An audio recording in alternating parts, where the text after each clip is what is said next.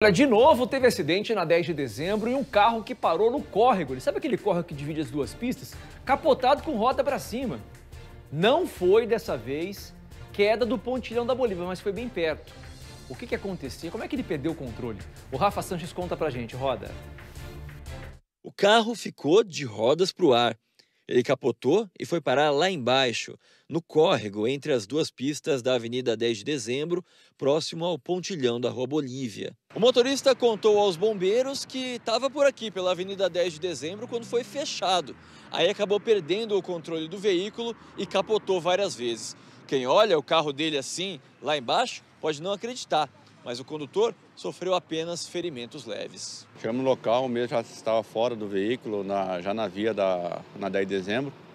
É, ele estava andando, deambulando, só com, com uns cortes contusos no dedo da mão esquerda, corte contuso no punho esquerdo e escoriações na mão direita.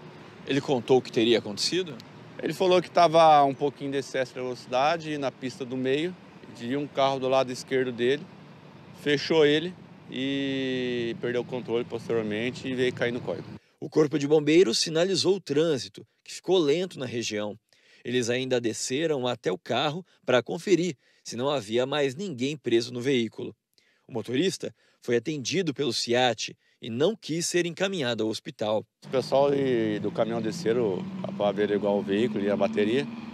É, falaram que o veículo está bem destruído a frente e a traseira do veículo é, ele levou bastante sorte nesse acidente. Quem vê o carro dentro do córrego, imagina que ele tem sofrido várias lesões. O que eu percebo na 10 de dezembro é um excesso muito grande de velocidade. A 10 de dezembro tem três pistas de cada lado, três pistas.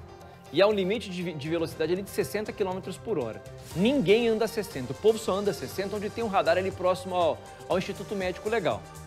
O resto é 70, 80, 90, 100 daí por diante. A galera vai cortando ali. Quem vem da rodoviária sentido Zona Sul, por exemplo, a, a, passou o radarzinho a 50, que na verdade é pro lado de cá, mas o povo também acha que tem do outro lado, vai de boa. Depois, ó, é uma pista de corrida.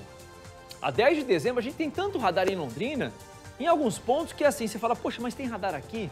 A 10 tinha que ter radar o tempo todo. A cada 400, 500 metros tinha que ter um radar a 60 por hora. Porque é só assim, para ter uma fechada onde tem três pistas, alguém fez uma lambança muito grande. Um livramento não ter acontecido nada de mais grave nesse acidente. Mais um, mais um na 10 de dezembro.